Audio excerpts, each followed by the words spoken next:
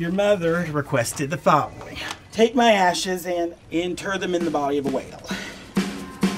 What the? An absurd road trip to bury your mother's ashes in the body of a whale with your brother who hates you. Now that is funny.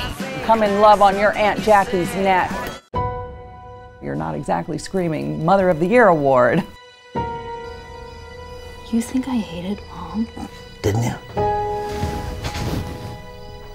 Love, like, Kate.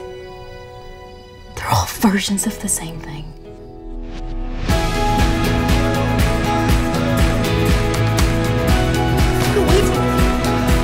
Lady, get the biggest fish, the biggest fish, the biggest fish.